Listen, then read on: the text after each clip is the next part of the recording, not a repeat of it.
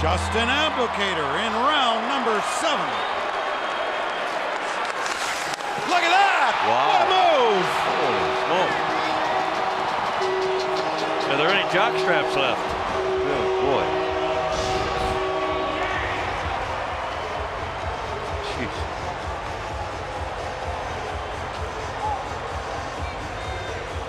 Boy, oh boy.